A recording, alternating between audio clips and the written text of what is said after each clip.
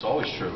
Um, You know, it- it's, it's, it's not like during the regular season where uh, if you look past an opponent,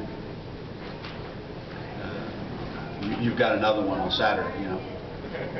At this time of the year, if you look past an opponent, your season's out in some ways. Uh, Either your Big East season or your, your season period. So I I don't, I don't think any team that wants to be a great team, that wants to play for a championship, uh, I I think what makes them a great team is they don't look past, they don't assume anything.